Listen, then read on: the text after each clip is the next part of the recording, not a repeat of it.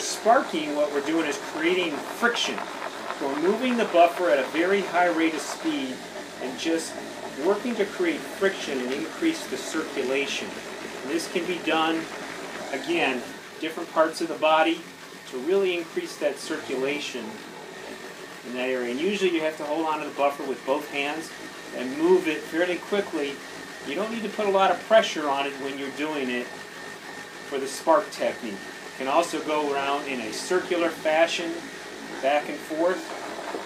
Highly effective at bringing warmth and circulation to an area of the body.